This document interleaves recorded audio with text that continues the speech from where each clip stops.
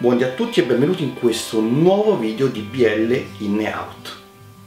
Deep Night è un Lacorn BL del 2024, è composto da 8 episodi e come protagonisti principali Shogun che, che interpreta Kem e First che interpreta Uela. Questa BL incomincia con una parte un po' scolastica ma poi alla fine è tutta quanta incentrata ad un locale particolare e la madre di, di Cam ha un locale notturno dove ci sono dei ragazzi che praticamente fanno da compagnia alle persone che vengono lì. Queste persone pagano e danno praticamente scelgono il ragazzo, certe volte sono anche delle aste, e danno i ragazzi tutti per loro. E soltanto che non è una cosa sessuale praticamente, semplicemente un ragazzo che ti fa compagnia per tutta la serata un ragazzo carino, quindi piacevole, con cui stai in compagnia e poi la cosa finisce praticamente lì. La trama di Deep Night parte da un, una, una sceneggiatura eh, scolastica fino ad arrivare a quella che è la sceneggiatura vera e propria, quindi que, tutto ciò che si aggira attorno ad un locale, il Deep Night che dà appunto il titolo alla serie stessa, alla BL stessa. E, um, eh, Miss Freya è praticamente la proprietaria di questo locale ed è anche la madre di Cam. E Cam non vede di buon occhio questa sua attività, come tantissima altra gente, appunto perché questo locale è un locale dove le persone vanno, persone anche facoltose, persone anche eh, famose, influencer, e affittano dei ragazzi, certe volte anche con delle aste, per aggiudicarsi i ragazzi migliori e tenerli per loro tutta quanta la serata. Non è un qualcosa che va a finire ehm, ehm, ad un qualcosa di sessuale praticamente. Finisce semplicemente lì. La serata quando dopo che questi bei ragazzi che sono stati affittati presi in affitto eh, tengono compagnia a queste persone lì nel locale.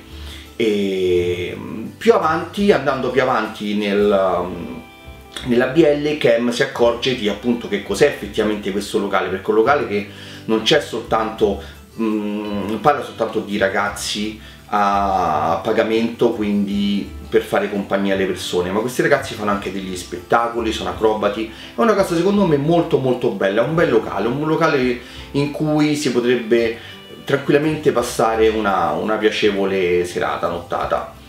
E solo che poi Cam eh, andando a lavorare in incognito in questo locale si innamora del, um, del ragazzo numero uno perché i ragazzi c'è una classifica di questi ragazzi proprio all'interno del locale. E, e il, il, numero uno praticamente è il nostro Wela di cui si innamora appunto Cam solo che c'è una regola nel locale ci sono cinque regole. La quinta che è la più importante tra tutte è quella in cui non ci possono stare relazioni tra i ragazzi tra le persone che lavorano dentro al Deep Night e da lì succede un po' tutto perché ovviamente Wela e Cam si innamorano, si innamorano uno dell'altro, ma questo non succede solo con loro, succede un po' anche di nascosto con gli altri ragazzi. Oltre a questo c'è il problema che la, la, matrigna di Cam che lo vuole a casa con lei cerca in tutti i modi, mandando soprattutto retate della polizia e al locale per riuscire a, a far venire a casa del padre di Cam appunto Cam stesso eh, mandando quindi in bancarotta eh, Freya. E poi ovviamente c'è il lieto fine, dopo tutte le vicende, e secondo me è una BL eh, molto carina, eh, le location sono molto belle, non ci sono cose, errori grandissimi ed è una BL thailandese che secondo me per gli appassionati del genere non può mancare di essere vista. Allora, partiamo come sempre dalle cose che ci sono piaciute di più della BL. E la prima cosa che a me ovviamente viene a mente è un personaggio, anzi più un attore, e sarebbe Sai Games che interpreta il personaggio di Seiji.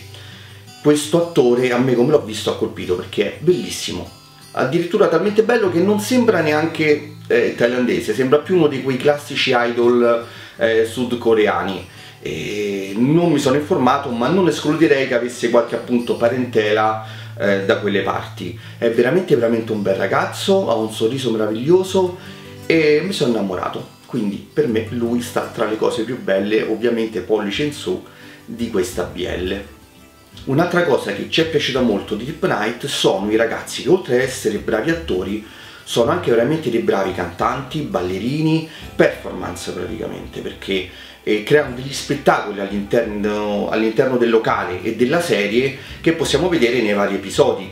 E questa è una cosa che mi piace, soprattutto per tutti quanti gli attori che ho visto principalmente di BL, che si danno da fare non solo come attori, ma anche in altre specialità. Infatti tantissimi attori che vediamo con RBL sono a loro volta cantanti, sono a loro volta ballerini e questa è una cosa bella perché io da regista, da produttore italiano comunque di BL, di cortometraggi, lungometraggi ho trovato difficoltà nel trovare appunto degli attori che sapessero fare qualcosa di differente oltre la recitazione. Già è difficile trovare attori che riescono a recitare in modo degno ma poi riuscire a trovare qualcuno che sappia anche magari fare un passo di danza oppure suonare una chitarra, qualcosa, è veramente veramente difficoltoso. Qui per ogni cosa devi prendere un attore differente. Mentre lì in Asia, da quello che io ho visto, mi piace tantissimo che gli attori che tu trovi sanno fare anche molte più cose. Sono multitasking.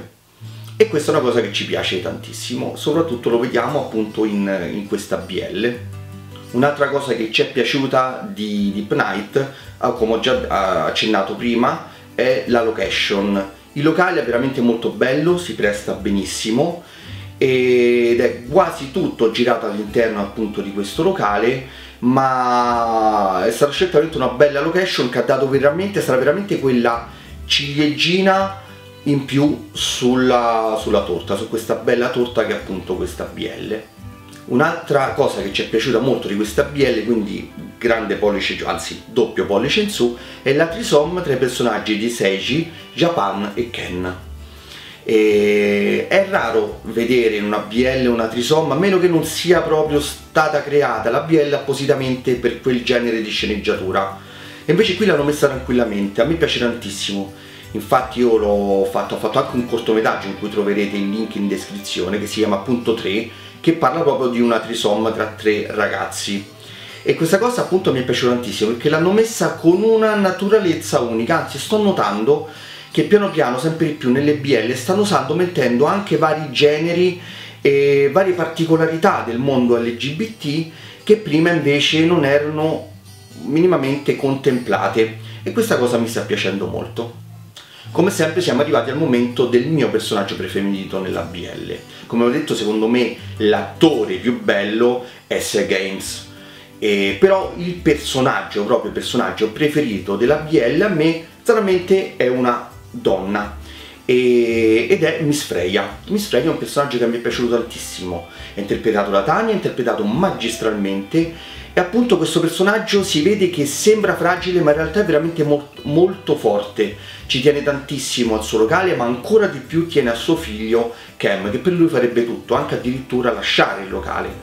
Però mi è piaciuto anche il fatto che si vede che lei tiene tantissimo anche ai suoi dipendenti, li tratta veramente come se fossero dei figli e non un personale qualunque. Questa cosa non è assolutamente data per scontata. Quindi mi piace un personaggio veramente ben costruito e che regge benissimo il suo ruolo di matriarca di questo locale, del Deep Night, da cui prende appunto il nome la BL.